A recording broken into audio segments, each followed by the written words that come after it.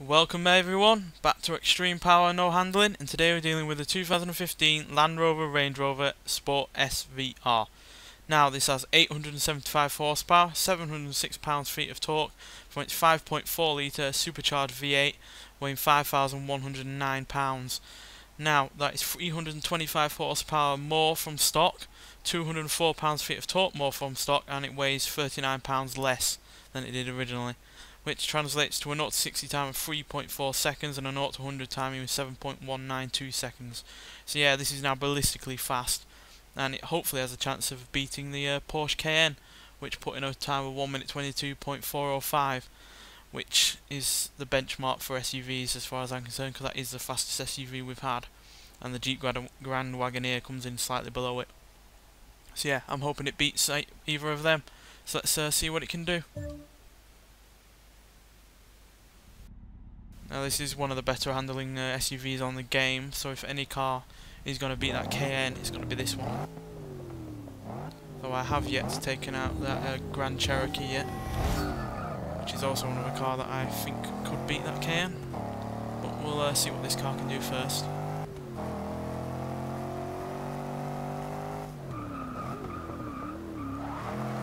This car has, I think, more power than that Cayenne, but it certainly has more uh, weight as well. That Cayenne is one of the lighter SUVs on the game. But this car is certainly no slouch.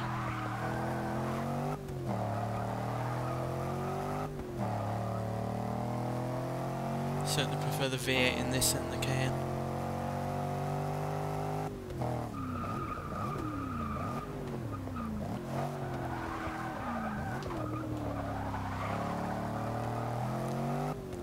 Smooth. No real troubles at all so far.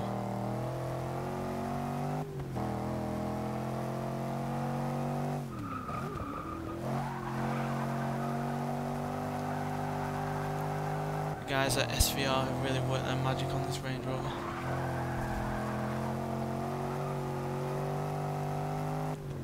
Also forgot to mention that they actually worked on that uh, Project 7 F-Type as well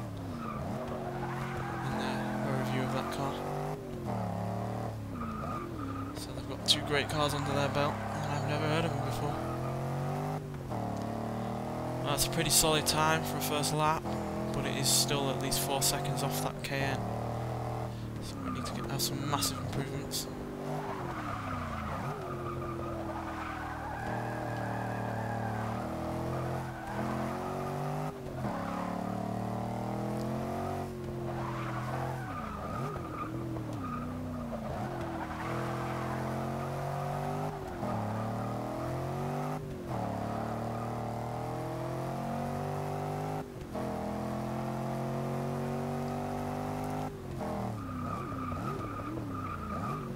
Sound of the V8 in this car, upgraded or otherwise.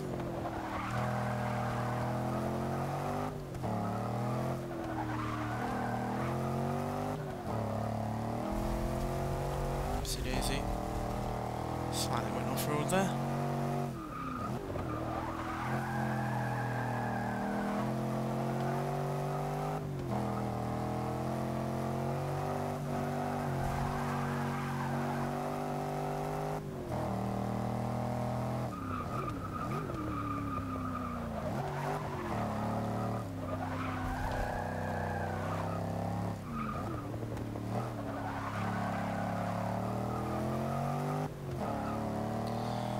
That's a pretty good uh, improvement. But again, we're still slightly off at Cayenne.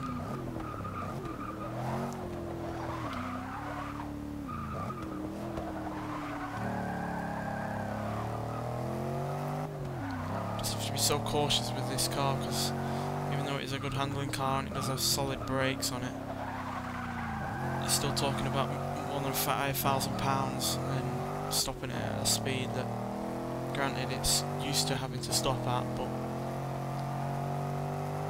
with all that power going through those wheels still, using up all the grip and the traction. Those tyres to the test just with the power. Don't want to push them when it comes to braking as well.